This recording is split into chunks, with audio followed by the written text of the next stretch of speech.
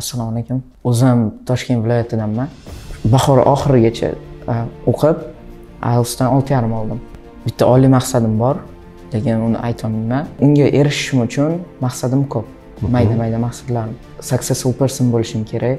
A, ya'ni muvaffaqiyatli muvaffaqiyatli inson bo'lishim kerak. Man o'zim kompaniyamni ochmoqchiman. Amerika universitetlariga scholarship yutmoqchiman. Chunki ota onamni ko'p xarajatga qoldirmoqchi emasman yangi narsalarni o'rganib o'zbekistonga qaytmoqchiman. Ishga berilib ketsam o'qish qolib ketishi mumkin. Soham o'zi computer science tanlamoqchiman и a, biznes tanlamoqchiman. Asosiy maqsad shu successful person bo'lish ota onamni va atrofimdagilarga baxt ulash. Minimum yuztacha bo'ladi. Yuztacha odam qo'lingda ishlayotgan bo'ladi. Targetga kelgandan keyin amerika universitetiga kira olishimni bildim. U o'zbekiston rivojlantirmoqchiman va uni yetakchisi bo'lmoqchiman.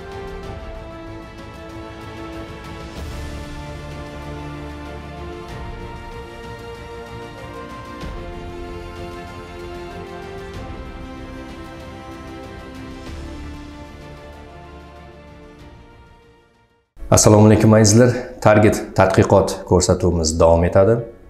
Demak bugun 18 iyul 2023 yil e, target xususiy maktabimizning tadqiqot ko'rsatuvi davom etadi. Bugungi tadqiqotimizni suhbatdoshimiz azizbek bo'ladilar.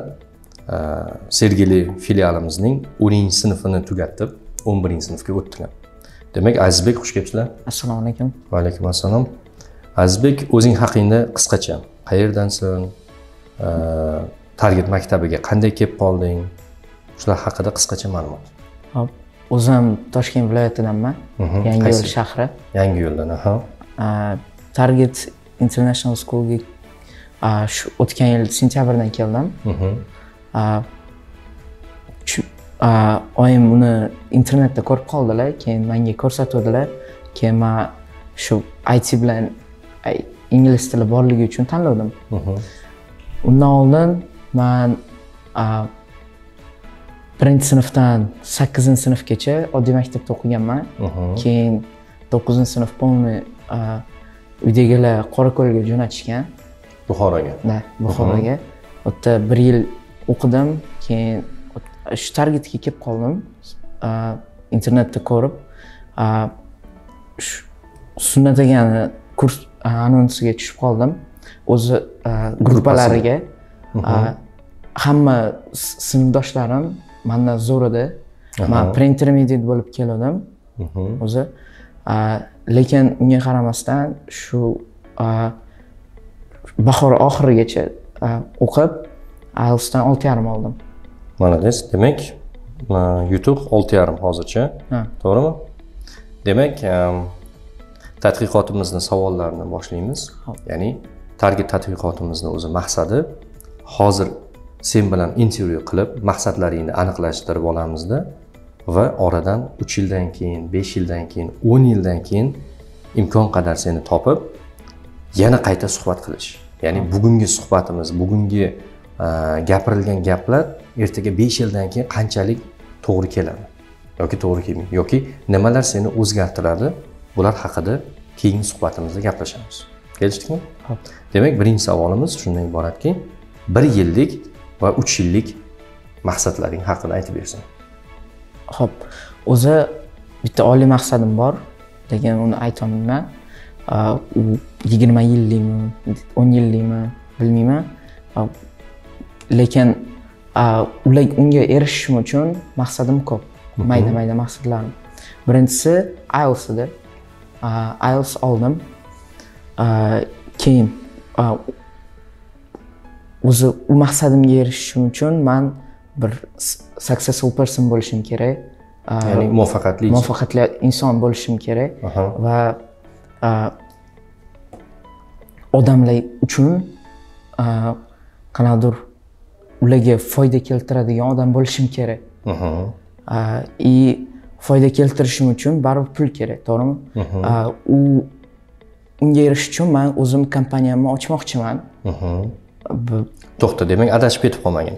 Bir yillik maqsad bor va uch yillik maqsad haqida so'radim. Hali besh yillik o'n yillikka o'tmadik. Bir yillik maqsading bir yillik maqsadim IELTSni olding. Kuzda. SAT olmoqchiman. Kuzda SAT kuzda SAT olmoqchiman. U universitetga kirishim uchun amerikaga topshirmoqchiman. Targetga kelib shu amerikaga topshirishim topshirish topshira olishimni bildim. Chunki hamma sinfdoshlarim ham topshirishmoqchi keyin amerika universitetlariga scholarship yutmoqchiman chunki ota onamni ko'p xarajatga qoldirmoqchi emasman и u yerda o'zimni mirovоззрениямni shu mindsetimni o'zgartirib erta yangi narsalarni o'rganib experience qilib ishlab erta a, yangi narsalarni o'rganib o'zbekistonga qaytmoqchiman. Yaxshi. Demak qara mm, maqsadlar yozib qo'yilganmi? Masalan bir yillik maqsad qaysi universitetga kirmoqchisan qachon kirmoqchisan yozilganmi? Yozilgan. Yaxshi. Uch yillik maqsad mana universitetga kirding va universitetni e, ikkinchi kursida o'qiyapsan. Nima maqsadlaring bor o'sha paytda? Shu universitetda o'qish paytim va man unaqa ko'p ishga berilmasdan полный o'qimoqchiman yerda chunki hali o'qib yaxshilab bitta o'qib olsam ularni znaniyalarini olsam shu bilimlarini olsam ko'p narsaga erishaman deb o'ylayman. Chunki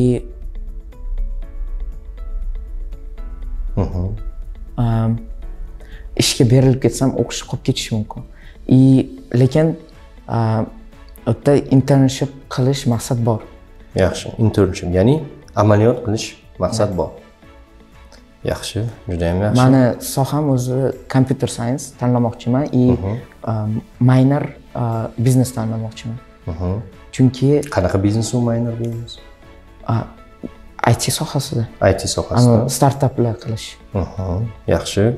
Demak besh yillik maqsad haqida gaplashaylik besh yillik maqsad bormi? Bor. Ya'ni universitetni bitirgan paytingda. Bor. Aha. Bitirib bitirib bo'lganimdan keyin man yangi g'oyalar bilan yangi loyihalar bilan o'zbekistonga qaytmoqchiman. Demak besh yildan universitetni bitirgandan so'ng o'zbekistonga qaytmoqchisan. Qaytmoqchiman. И o'sha yerda startapimni yo'lga qo'ymoqchiman. Ya'ni o'zbekistonga qaytib. Ha. yaxshi. Qanaqa startap nima qilmoqchisan O'sha yerdan shu topib bir yangi loyihalar qilmoqchi edim. Yaxshi. Bir yangilik qilmoqchiman Mhm. demak IT sohasida. IT sohasida. Yaxshi. Demak buni hali aniq qilmagansan? Yo'q. Ho'p qachon aniq bo'ladi? Amerikaga borib olganimdan keyin. Yaxshi. Lekin soha aniq. IT IT sohasida. Sohasida. Universitetni ham shunga qarab tanlamoqchisan tanlab bo'lganman juda yaxshi. Demak endi tadqiqotimizni eng haligi kulminatsion joyi o'n yillik maqsad haqida gaplashaylik. O'n yildan so'ng senda qanaqa holatda bo'lasan va senda qanaqa qo'lingda erishilgan yutuqlar bo'ladi? O'n yildan so'ng o'n yildan so'ng man shu ko'p biznesim bo'lishim bilaman chunki u yerda o'zi asosiy maqsad shu successful person bo'lish и ota onamni va atrofimdagilarga baxt ulash. Yaxshi. Bu umumiy gap bo'lib qoldi. Demak aniqlashtiramiz.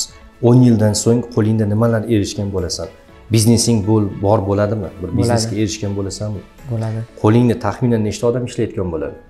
Taxminan bir minimum yuztacha bo'ladi. Yuztacha odam qo'lingda ishlayotgan bo'ladi. Chunki man bitta katta kompaniya ochmoqchimanda.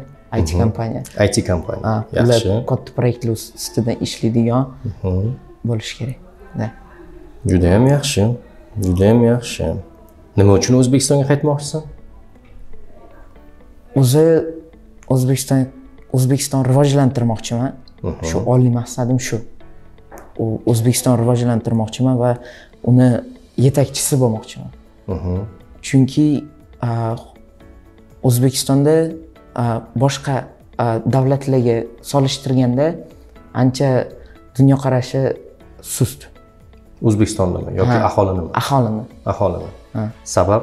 Sabab mana man ko'chada ko'p yuraman. Shu qatnab yur- yurishimda ko'p ko'ramanda odamlarni o'ylashini man, например taksistlarni Mhm. o'ylash dunyoqarashini ko'raman. Shunda ko'raverib ko'raverib o'zimga maqsad qo'ydim. Demak odamlarni maqsadsizligidan maqsadsiz ularni tor fikrlashidan sen уже o'zingga xulosa chiqaryapsan. Ha, bu seni necha yoshingda paydo bo'lgan? Qachon paydo bo'lgan bunaqa fikrlash? Bu где-то 15 yoshim. o'n besh yoshligingda o'tgan yil. O'tgan yil. Ha. aha targetga kelishingdan oldinmi yo kelganingdan keyin kelishimni oldim kelishingdan oldin уже odamlarda tor fikrlash maqsadsizlikni seza boshlagansan. Hmm. to'g'rimi? Yaxshi. Ho'p targetga kelding aynan maqsad qo'yish masalasi bo'yicha dunyoqarash bo'yicha senda qanaqa o'zgarishlar paydo bo'ldi? A, targetga kelgandan keyin shu man amerika universitetiga kira olishimni bildim. Birinchisi man undan oldin полный dtm topshiraman deb o'yladim shu o'zbekiston shu universitetlariga kiraman deb o'yladim A, lekin shu amerikani amerikaga просто travel keyin travel qilib borsam bo'ladi deb o'yladim. Lekin shu targetga kelib bolalarni ko'rib shu ularni shu strive qilayotganini ko'rib juda shunga erishmoqchiligini ko'rib man ham ularga qo'shildim. И amerikaga k- universitetiga kirishga. Chunki u yerda shans ko'p. Imkoniyat imkoniyat amerikada. Amerikada. Ko'p narsani bilim ko'p. U yerda dunyoqarash o'zgartirish mumkin. Mhm. yaxshi. Bo'ldi. Demak tadqiqotimizni oxirgi savoli mm, millat uchun nima qilmoqchisan? Shu maqsadim oliy maqsadim shu a, o'zbekistonni rivojlantirish и uni rivojlantirish uchun ham man hozir yaxshilab o'qishim kerak. И mi- millat uchun shu paytgacha ko'p narsa qilmaganman faqat shu volontyorlik qilganman yoki shu yon atrofimdagilarga ingliz tilida yordam berganman. Mhm. и hozir ham yordam berib kelyapsan yordam berib kelyapman. Instagram akkaunting bormi? Bor demak instagram akkauntingni hozir biz e, tomoshabinlarimizga namoyish qilsak bo'ladimi? Bo'ladi. Bo'lmasam azizlar hozir mana ekraningizda e, azizbekni instagram akkauntini ko'rsatamiz. Demak tengdoshlaring sendan kichkinalar senga aloqaga chiqsa bo'ladimi? Ingliz tilidan maslahat so'rab SATdan maslahat so'rab amerika universitetlari haqida. Ertaga sen amerikada yurganingda o'zbekistondan senga chiqishsa yo'l yo'riq ko'rsatasanmi? Конечно. Demak azizlar mana azizbek va'da qilyapti. Instagram orqali siz bemalol azizbekka chiqishinglar mumkin va azizbek o'zini erishgan yutuqlari e, universitetga kirish bormi va hokazo nimaiki o'zini ilmi bor sizlar bilan ulashishga va'da beryapti. Shunaqami? Zo'r. Juda yam xursandman azizbek demak e, bugungi suhbatimizga nuqta qo'ymaymiz belgil qo'yamiz va suhbatimizni maktabni bitirish arafangda yana bir bor bir suhbatlashamiz. Sababi o'ylaymanki oliy maqsad haqidagi tushunchalaring o'zgarishi mumkin. O'zi savol bermoqchi edim. Nima uchun o'zbekistonni rivojlantirmoqchisan chunki bu mani shu tug'ilgan joyim tug'ilgan yerim. И bu yerda tarixiga olib qarasak ham kuchli odamlar bo'lganda и shu oldin kuchli bo'lgan davlatni yanada kuchliroq qilmoqchiman Malades. Yaxshi. Demak, bir yildan so'ng Azizbekni suhbatga chorlaymiz va qani bugungi suhbatimiz bilan bir yildan so'nggi suhbatimiz qanday bo'ladi? Fikrlashlar qanday? Maqsadlar qanday? Hammasini xudo xohlasa bir yildan keyin yana uchrashamiz. Demak, azizlar, keyingi suhbatlarimizda ko'rishguncha va keyingi suhbatimizda keyingi suhbatdoshimizni bir fikrlarini eshitamiz xudo xohlasa ko'rsatuvimizni kuzatishda davom eting. Sizlar uchun eksklyuziv tadqiqotlarni olib borishga va'da beramiz. Demak azizbek bir yildan keyin yana ko'rishamiz xudo xohlasa rahmat. Sog' bo'linglar